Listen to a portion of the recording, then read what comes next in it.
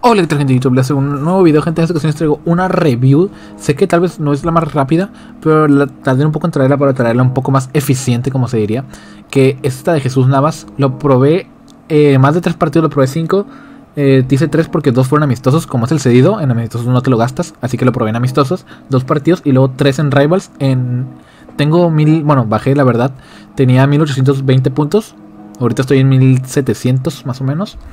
Eh, los tres partidos lo perdí, pero es porque no me concentré obviamente en el tema ofensivo del equipo, me concentré en la defensa, quería probar bien a este Jesús Navas. Primero que nada les voy a explicar que lo probé en tres posiciones. Defensa central, que es su posición, lateral derecho y pivote defensivo. Mm, en este equipo lo probé, como ven el equipo no es lo más top del universo. Simplemente es un equipo para probar cartas y para probar ciertas funcionalidades de las cartas sobre todo. Eh, pues tenía que, tengo que decirles que un central, 1.72 de estatura, 4 skills, 2 de pie débil. Para ser honesto, mucha gente yo sé que está pensando en la estatura. Yo en lo personal no lo veo un impedimento la estatura. Porque es una carta que cubre, muy, o sea, tiene demasiado bien otras, otros aspectos en el campo que te compensa la falta de estatura. Aparte, la verdad, eh, muchas veces nosotros buscamos como los defectos de las cartas en vez de ver todas las virtudes que tienen. Esta carta es una carta que vale solo 145 mil monedas. Es bastante barata. Es una carta muy barata. Y en la, lo que viene siendo la Liga Santander, tenemos centrales buenos, sí. Tenemos a Koundé, que es con el que yo le de química, que muchos lo tienen gratis. Que también como tema aparte, decir que este Koundé ya con la mejora ya me gustó más. Ya mejoró bastante y ya puedo decir que es un central bastante bueno. Tenemos a Barán. Y tenemos al pues de ahí seguiría tal vez Aidu. Si los tienen gratis Aidu, pues Aidu también es muy, buena opción. Es bastante diferente este Jesús Navas. Yo creo que para ver si ese central te vale la pena, para que tú lo hagas, la opinión que yo te voy a dar es depende de tu estilo defensivo. Voy a dar ciertos comentarios clave con los que te puedes dar una idea para ver si a ti te vale la pena o no. Porque por menos de estas monedas solamente tenemos a el Conde, que si no te lo hiciste, pues bueno, ya lo perdiste. Rafa Barán vale 10.000 monedas más, bueno. Lenglet Aidu, que también si ya no lo agarraste, pues ya te lo perdiste. Pero que sean transferibles, solo tenemos a Rafa Barán, que vale 10 monedas más. Y al Englet, que de una vez les digo que este Jesús Navas es mucho mejor que el Englet. Me, entre Barán y este, yo la verdad, son diferentes. Tiene cada quien sus virtudes. Eh, bastante diferentes cartas, la verdad. Este Jesús Navas tiene muchos plus, gente que muchos están tomando en cuenta. El único tema sería que tal vez tenga elevado en ataque y medio en defensa. Pero les voy a decir a continuación mi opinión más certera. El ritmo, tiene 83 de ritmo. Eh, yo lo sentí más en la cancha, honestamente. Puede ser por su bastante agilidad. Es un central con. Es un central súper ágil, gente. Es su principal virtud. Puede salir. Van a ver varias jugadas de eso. Puede salir perfectamente jugado el balón con él. Y no va a tener ni un problema. Es un central que aparte te da el plus de que al ser tan ágil y tan rápido, porque en Game sí te crean que esté más rápido de lo que dice la carta. Eh, te da el plus de que puedes corregir bastantes errores. Y ojito que yo lo probé sin estilo de química, ¿eh? Ese es un plus. Ustedes, yo les recomendaría usar ancla tal vez para subirle un poquito el físico. Eh, yo, lo, yo les tengo que decir que es un central que si no el, el defensa más top, no eres la mejor persona defendiendo. Este Jesús Navas, como van a ver en algunas jugadas, yo puedo haberme equivocado en el pase, puedo haberme equivocado en ciertas circunstancias que yo hice mal. Y este Jesús Navas es tan ágil que te permite darte la vuelta y llegar rápido a la jugada para tener una segunda oportunidad de quitarla que es cosas que son cosas que por ejemplo el inglés no te las da y honestamente por el tema del cabeceo que mi 1.72 yo no tuve ningún problema con eso porque hay que tener en cuenta que también la mayoría de gente no usa delanteros muy altos eh, delanteros altos que sean meta pues está tal vez Mbappe está Ronaldo y poco más tal vez Rashford por ahí pero tampoco es como que los delanteros meta sean bastante altos eh, incluso esos delanteros ya son delanteros bastante top que aunque tengas aquí a Maldini te van a complicar Así que el tema de la estatura yo no lo vería un defecto. De, hecho, sacó algunos balones de cabeza porque tiene salto 84, como ven.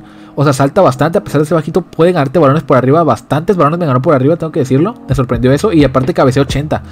O sea, para mí el tema de la estatura no va a ser un problema. Tiene el plus, como mencionaba, del regate es bastante ágil. Pero a pesar de ser bastante ágil, eh, es muy similar como al Conde. Este Conde ya, ya lo sentí más. Este de 84 que mejoró, ya lo sentí más más fuerte al choque y menos ágil. Pero el Conde pasado, que, era de 82 de media y no de 84, yo les decía que lo sentía muy ágil, pero poco certero. Este Jesús Nava lo siento muy ágil y bastante certero la defensa. Eso me gustó. No tiene esa desventaja que veía en Conde, que a veces el cuerpo a cuerpo perdía. Este Jesús Navas, eh, la verdad que al corte de balón, o sea, lo que es intercepción posicionada, es brutal porque tiene 86 de presión defensiva y 80 83 de entradas. Créanme, y 88 intercepciones, gente. Créanme que interceptando balones es muy top, pero muy top. Y se nota, gente, que tiene esas cantidades. Tiene incluso más intercepciones que Barán. Un punto más, pero tiene más, ¿no? Entonces, créanme que se siente bastante bien posicionándose para robar balones. Es, obviamente no es perfecto defendiendo. Su principal debilidad que yo vería de este Jesús Navas en el tema defensivo es que en ocasiones la fuerza si te enfrentas con delanteros muy fuertes, sí puede tener alguna que otra carencia, pero lo puede suplir bien con su intercepción y las entradas. Si te barres preciso, la robas. Pero igual la fuerza es muy certero, la verdad. O sea, como tiene mucha agresividad y todo, llega bastante recio a quitar el balón. Pero en ocasiones en donde batalla es en las carreras hombro a hombro. En las carreras hombro a hombro sí le cuesta un poco más porque, porque obviamente no es una carta perfecta. Y ese es, para mí esa es la principal desventaja en, en el tema defensivo únicamente sería eso, que en las carreras hombro a hombro sí puede perder balones porque le falta un poquito de fuerza. Pero si vas de frente, no es de los centrales débiles que va a salir volando. Sí, como tiene mucha agresividad y entradas y tal, sí roba los balones. Aparte, como mencioné, si se te cuesta a ti mucho la salida de balón, que te presiona mucho arriba y no sabes qué hacer, este Jesús Navas perfecto puede sacar el balón jugado desde la central. Créanme que es de los mejores sacando el balón jugado. Porque, por ejemplo, Barán es una carta muy top en defensa. Pero es una carta que en lo personal a mí me parece que es un poco tosquete sacando el balón jugado. Porque tiene 65 de dribbling, luego el pase no es el mejor. Pero este Navas tiene tanto dribbling para ser central y buen pase que sacas perfecto el balón jugado. Es muy difícil equivocarte. Incluso haciéndolo mal, puede que te salga bien. O sea, a ese nivel llega este Jesús Navas de como central, sacando el balón jugado. Porque las otras opciones que tenemos en la liga, por ejemplo, Aidu. Aidu también no es muy bueno sacando el balón jugado, gente. Así que este Jesús Navas yo lo vería de los mejores centrales con el balón. Con el balón de la liga. Yo creo que el mejor, junto con Ramos posiblemente. Es mejor que Conde también ese tema y que el Englet también. Así que yo lo veo como el mejor central con balón de la liga. Eso es importante. Luego, el tema de pase, pues ya lo mencioné, es muy bueno. Para un central es perfecto. Tiro tiene ese plus que tiene buenas tasas de tiro realmente. No creo que lo vayas a utilizar mucho. Pero pues están ahí para un tiro de esquina y tal. Yo no, la verdad, no tiré con él porque no tuve la oportunidad, pero tiene buenas stats en eso. Y esto le ayuda a jugar de pivote. Voy a mencionar un poco más luego los rasgos. Centro anticipado, que ayuda bastante a los centros. Pero bueno, ya les mencioné el tema defensivo como me parece, por si ustedes lo quieren usar de central. Porque aparte tiene buena química con Conde, si ustedes quieren hacer ahí un híbrido, como yo lo tengo. Eh, me parece, honestamente, que es mejor que Lenglet, es mejor que Aidu, eh, con Koundé, me parece que con Koundé si tienes el 84, el roto de final, son similares. Este Jesús Navas es más ágil, este Koundé es un poco más fuerte. Y por ahí se dan. Que Barán son diferentes y cada uno es mejor en su aspecto. Por ejemplo, Barán es mejor en el tema defensivo porque es más fuerte y diría que un poquito más certero. Pero Barán es mucho más propenso al error, que se entienda bien, que Jesús Navas. Barán, si tú tienes el balón en los pies, es más fácil que cometas un error y regales el balón que con Jesús Navas. Jesús Navas es difícil que hagas eso. Así que ahí ustedes tienen que valorar eso para saber qué tipo de central ocupan ustedes. Si salen muy bien con el balón jugado, no ocupan a Navas. Si salen muy mal con el balón jugado y defienden medio bien, ocupan a Navas en vez de Barán. Es una ejemplificación. Igual este Navas lo ve bastante bien porque lo puedo usar de lateral. Yo lo probé, vean este equipo. Eh, lo probé también de lateral. Metía a Mukiele de central. Que Mukiele me parece muy buen central. Tiene muy buenas stats. Y lo probé de lateral Jesús Navas. Y no sé si recuerden los que vean mi canal. Que yo ya probé Jesús Navas de lateral. En Food Champions pasados. Y les dije que lo que me parecía que, que flojeaba en el tema defensivo. Porque se subía y bastante. Y a veces cuando bajabas. Aunque bajaras correctamente. Eh, no tenía la contundencia defensiva suficiente. Para poder remediar esos errores. Por decirlo de alguna forma. Entonces, ahora con este plus defensivo que le pusieron, ya tiene ese, eso, estas stats defensivas suficientes. Entonces, me parece que de lateral eh, te queda una carta bastante brutal, la verdad. ¿eh? Yo me consideraría probar algún lateral en plan Walker, es muy buen central. Eh, te da ese plus de poderlo poner de lateral, ya sea con Walker, Carvajal. Ahí, ahí puede ser buen central, no lo sé, la verdad. Sergi Roberto If, Mukiele, este Mukiele es muy buen central. Puedes usar cartas que sean laterales de centrales. Ojo, yo lo probé lateral derecho, lateral izquierdo no sé, no creo que cambie mucho, simplemente pues es el pie, porque tiene dos de pie débil, eso sí afecta. Pero igual yo recomiendo lateral derecho. Y una posición que me parece la mejor, definitivamente la mejor posición de para él en cuanto por desde su tema de estatura, por sus stats, por su agilidad, movilidad y todo lo que te da este Jesús Navas, sería el pivote defensivo. El pivote defensivo para mí, ya sea en 4-2-3-1, 4-2-2-2 o 4-1-2-1-2, me parece que es la mejor posición para Jesús Navas. Porque es súper ágil. Que no hay tantos pivotes ágiles. Está Canté, pero que sean certeros en defensa no hay tantos. La mayoría, la mayoría suelen ser un poco toscos como Sissoko, que sí, etcétera, ¿no? En la Liga Santander sí hay buenos eh, pivotes, pero me parece que este llega un plus más de los que hay. Tal vez el Valverde If sí sea mejor, pero este me pareció mejor que Llorente If y mejor que el Rule Breaker porque es más ágil. El Rule Breaker se siente un poco tosco el, el Llorente Rule Breaker, pero me pareció mejor que el Llorente If. Entonces me parece que puede ser una dupla perfecta de Valverde en el pivote, gente. Yo recomendaría esa posición pivote. Pueden usar una línea de 5 y en game cambiar a este jugador de pivote porque es muy bueno de pivote. Lo probé un partido ahí, bueno, uno y medio, medio tiempo de uno y un partido entero. Es muy bueno de pivote, gente, se los digo en serio. Es su mejor posición. Tiene buen ritmo para subir y bajar. Tiene energía 83, te rinde todo el partido con eso. Tiene buen tiro por si llega adelante el pase y como les mencioné, la salida de balón, o sea, el tema de regate y todo es bastante bueno. Bastante, bastante bueno. Ustedes ya vieron en las jugadas, es bastante bueno sacando el balón. Y el tema defensivo no es para nada flojo, es muy bueno. Y el tema que muchos les puede dudar, que a mí me parece que de todas maneras no, afecta porque tiene mucho salto, es el tema del cabeceo, ¿no? De la estatura.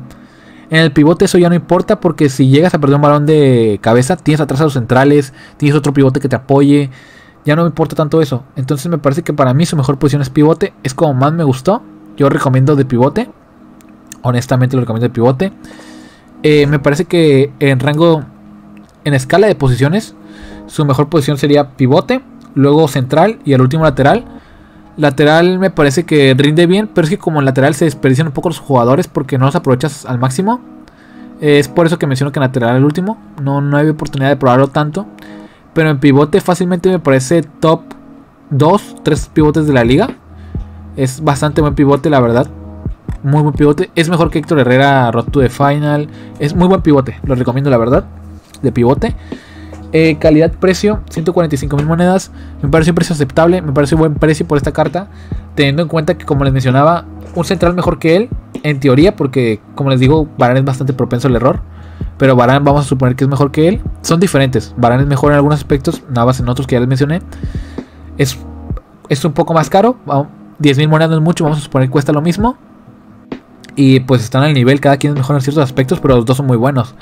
Así que me parece que calidad de precio es muy bueno. Valverde If es más caro. Eh, Héctor Herrera pues ya no se puede hacer.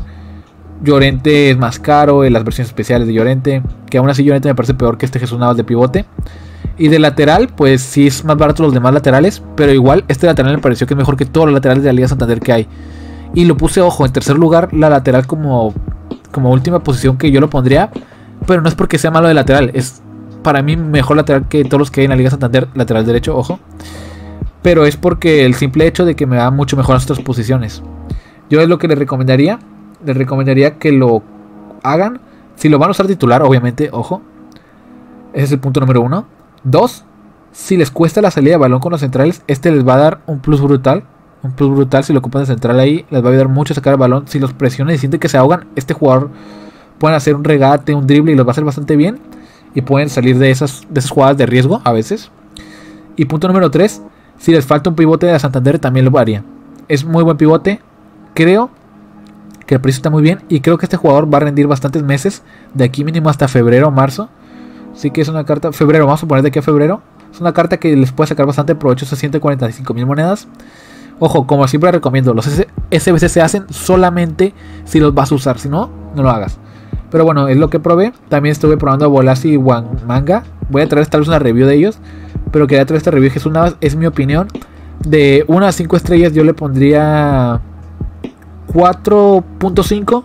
Le falta nada más el tema de la estatura. Para mí lo demás es muy top para hacer central casi perfecto. Eh, si quieren una referencia de alguien que puedan probar que sea similar a él, eh, posiblemente este con D, pero con mejor salida de balón. Pero tampoco hay tanto, es un central bastante único en su posición. Eh, no hay tanto central que se asimila a él. la verdad tendría que probarlo. El de préstamo, háganlo y pruébenlo, gente, ustedes si quieren.